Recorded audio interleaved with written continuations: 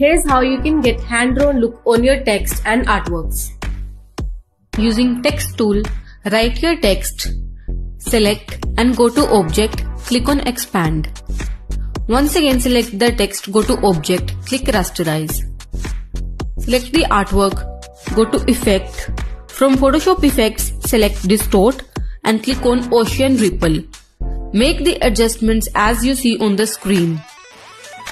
Once done, you'll have this type of effect. Now select the artwork, go to effects, Photoshop effects, click on sketch and select stamp. Make the adjustments as on the screen and you'll have a very beautiful effect ready. But this is not in vector because we rasterize the object. So we'll just click on image trace and click expand and we'll have the effect in vector that you can use in logos, typography, t-shirts and many more. I hope you like this video. Follow me for more such videos. Thank you.